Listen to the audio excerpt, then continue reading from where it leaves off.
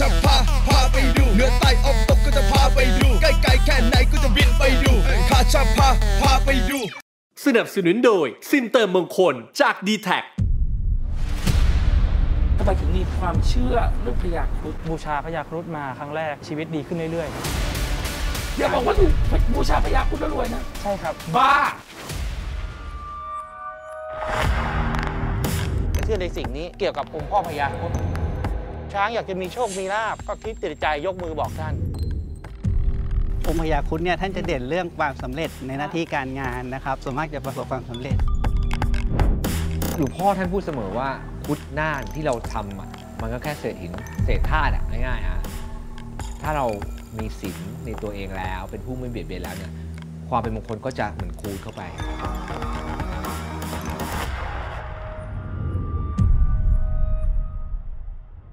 หลายๆ คนครับ ถ้าสมมติจะพูดถึงพญาครุฑครับ ทุกคนจะต้องคิดถึงหลวงพ่อวราวัดโพธิ์ทอง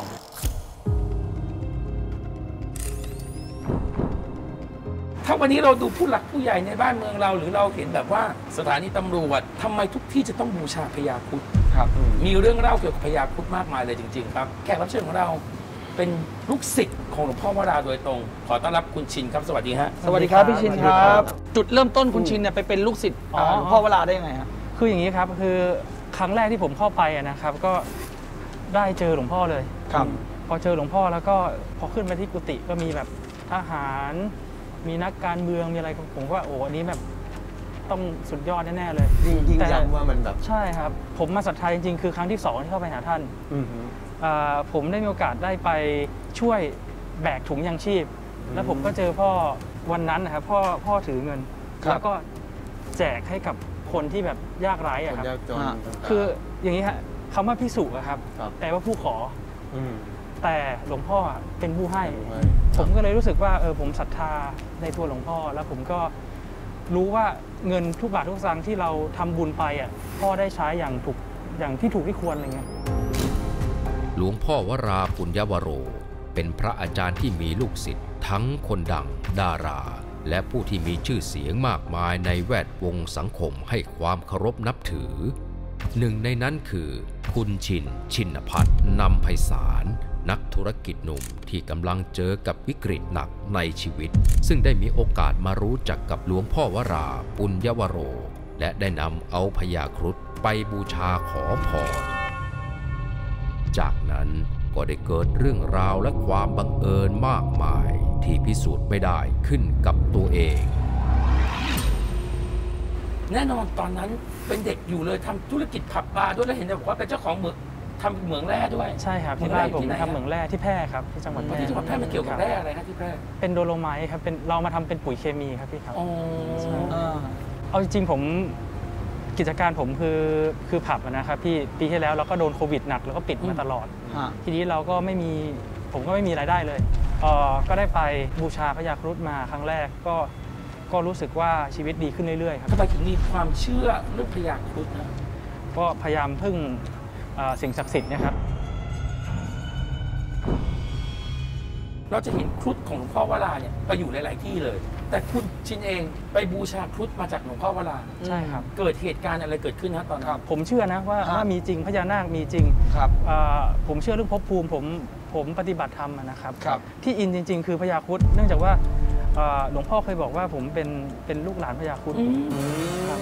อันนี้รู้ก่อนที่จะไปตอนตอนเจอหลวงพ่อ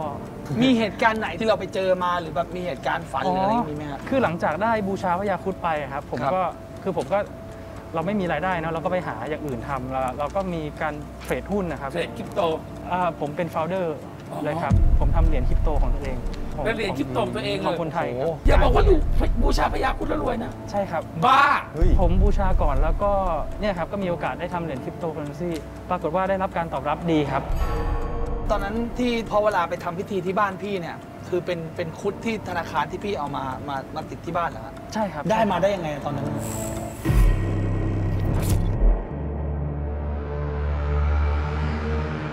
หลังจากมาศรัทธาพระยาครุฑอะผมก็พยายามเก็บสะสมพระยาครุฑมาเรื่อยอ่ามีเอ่อครุฑองค์บูชาของหลวงพ่อประมาณสักสิบกว่าองค์ครับครับแต่ทีเนี้ยเราอยากจะแต่งให้มันสวยอ่าๆแล้วก็ไปเช่าเป็นพญาครุฑมือสองหลังจากที่เขาเขาเรียกอะไรปลดประจำการจากจริงธนาคารนะครับจะมีขายตามจตุจักรอะเนาะใช่ครับใช่ที่คเป็รับนไม้อะเขาขายสูตรกับเอ่อผ้ายันของหลวงพ่อ หลวงพ่อวราไปทำพิธี ผมผมนิมนต์ไปฉันเพลครับพี่ทำบุญบ้านอะไรอย่างเงี้ย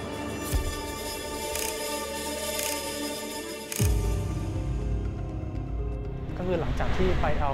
องค์แรกมาแล้วเนี่ย ผมก็ไปถูกใจอีกองค์หนึ่งคือคือองค์คือองค์นี้เลยครับ เสร็จปุ๊บองค์เนี้ยแพงหน่อยก็ไม่ได้เช่าท่าน แต่ว่าก็คือชอบมาตลอด คือหลังจากที่เอามาเอามาห้อยคอแล้วเนี่ยก็บอกว่าวันนั้นอะเทรดหุ้นแล้วมันมันมันแย่ครับ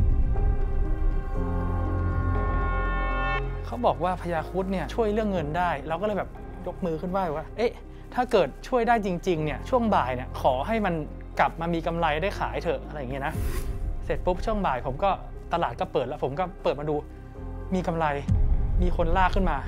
ได้กำไรมาเท่าราคาของครุฑองค์นี้เลยอะคือแบบผมก็หลังจากนั้นผมก็เลยมากันเต็มไปหมดเลย จริง ๆ ผมก็มีชีวิตที่ดีขึ้นเยอะ ปรากฏว่าเราก็มีช่องทางอะไรใหม่ ๆ เข้ามาในชีวิตที่มันไม่คิดว่าเราจะทำได้อะไรเงี้ยครับ เรียนจบมาเนี่ยผมผมจบอังกฤษมานะ แล้วก็ผมก็ ทำธุรกิจหลายอย่างอะทำปุ๋ยก็เจ๊งทำร้านอาหารก็เจ๊งทำเปลี่ยนร้านอาหารเป็นผับก็เจ๊งอะไรเงี้ยนะครับ เจ๊งเยอะอะครับ แต่ที่ที่สักเซสก็มี แต่ว่าชีวิตไม่ได้ดีเหมือนกับทุกวันเนี้ยก่อนไปนั่นนะคุณก็เรียกได้ว่าผับบาร์เราต้องยอมรับปิดหมดอืมนั่นคือธุรกิจหลักของคุณครับทองลงทองรอปิดหมดแล้วใช่คุณก็เลยมาทำคริปโตครับ คุณบอกว่าเมื่อเข้าไปปุ๊บหลวงพ่อเวลาบอกเอาละเดี๋ยวคุณจะรวยแล้วนะหลวงพ่อเวลาทักว่ายังไงฮะตอนนั้น คือคือผมเชื่อว่าหลวงพ่อมีเขาเรียกอะไรฌาน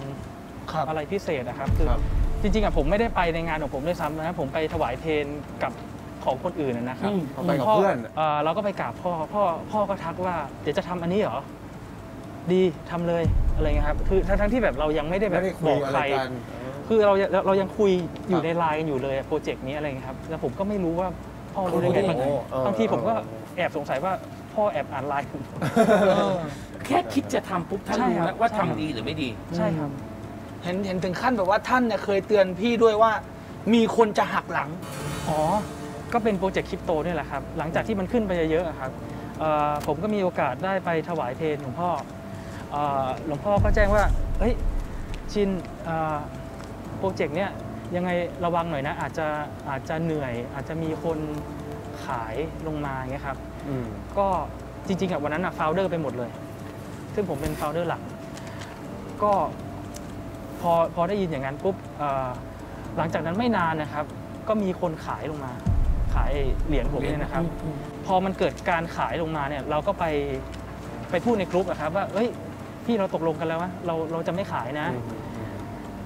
ปรากฏว่า address นั้นอะเขาหยุดขาย นั่นหมายความว่าเป็น founder นะครับเราเป็นคนข้างใน ใช่ครับก็เลยทราบว่าเป็นคนข้างในท่านเห็นก่อนหน้าที่จะก็มาเตือนไว้แล้ว ใช่ครับอืมครับแน่นอนอันนั้นคือปาฏิหาริย์ที่เกิดขึ้นกับครับ คุณชินถามจริง ๆ เป็นคนรุ่นใหม่ด้วย อยู่กับเทคโนโลยีด้วยนะฮะ ครับ อยู่กับแสงสีเสียงอยู่ย่านที่เรียกได้ว่า